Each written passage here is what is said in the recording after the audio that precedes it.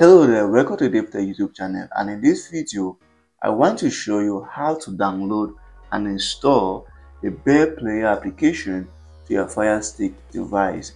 This is a full guide video that means I will show you everything as slow as possible, every step possible that you need to follow on your Fire TV device to install this application. So please make sure you watch the video right up to the end and follow step by step because I'll try my best to explain carefully on the things to do on your Fire Stick device.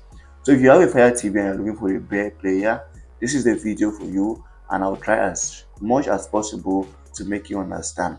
So if you find the video helpful, you know what to do. Please like, share and comment for more important videos like this. And if you send me a gift, I wouldn't mind. I'll be appreciative of you. So that's it. Let's get into business. This is my Fire Stick device and before this, I don't have the Player application. So I will do everything and show everything on this video. So please follow attentively. Now let's start by installing the download application to our Fire Stick device. The reason why installing the, the, the download application to our Fire Stick device is because we are going to be using a download application to install the Bear Player. The Bear Player is not on the official App Store on your Fire Stick device, so we need Downloader to install it. So how do you install Downloader? It is pretty simple. Go over to the option or the Search option here. Now in the Search option here, you need to type in the download application or we need to search for the download download application and install. So what you have to do is simple, just click on D and you get a suggestion over here for the download application. Just click on it once and it's going to bring you to this page. And here's the application. Now it is going to be compatible with your Fire Stick device. So just click on it once and it's bringing you to the download page over here. So as you click download, the application is going to start downloading to your Fire TV device and just give it a moment, let the application download and install to your Fire Stick device. Now we need this application because we cannot go straight away to the App Store and install the application. So downloader has been installed. That is the very first and most important step. Now the next step that we need to do on our Fire Stick device is to make sure that our Fire Stick can allow us to install applications from unknown sources. Since the application is not on the official App Store, we need to install it from downloader. So we need to make sure our Fire Stick device allows applications to be installed from unknown sources. And to do that, let me show you what to do. Now on your Fire Stick device, go over to your settings and come to the option that says My Fire TV. Now in this option, click on it and launch. Now you see this option here, develop options. This is what we need. This is very important. Now if you are seeing this option on your Fire Stick device, then I believe your Fire Stick device is already able to install applications from unknown sources. But if you are not able to see this, I will show you how to turn this on. It is very simple. Come back to the option that says about and in the about section click on it. Now the first option here is going to be the name of your Fire Stick device Mine is Fire TV Stick 4K.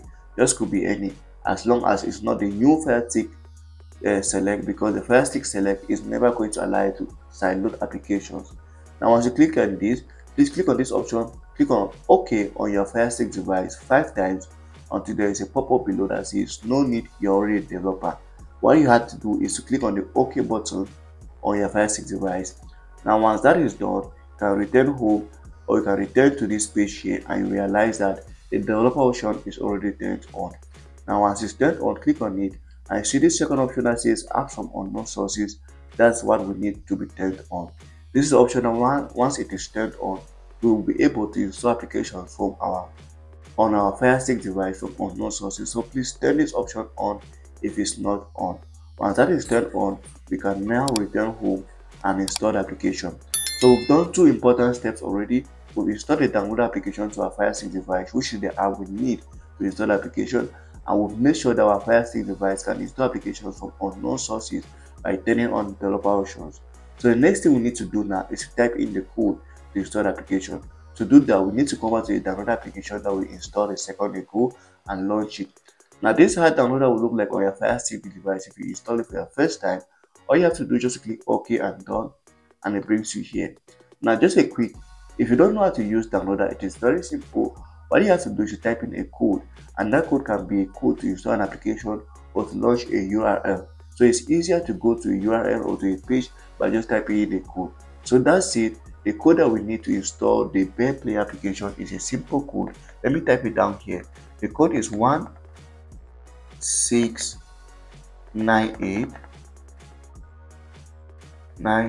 98 246 246. So here is the code, ladies and gentlemen 1698246. Make sure you type in the code exactly as you see right now on my screen because if you type it with a mistake, even with a space, it's not going to work. So as you type in that code, you just go ahead and launch. And what the code is going to do straight away, it's going to bring you to the page to install the Bear Player application to your Fire Stick device. So here's the application is going to start downloading straight away. Sorry I'm blurring this, but you understand why.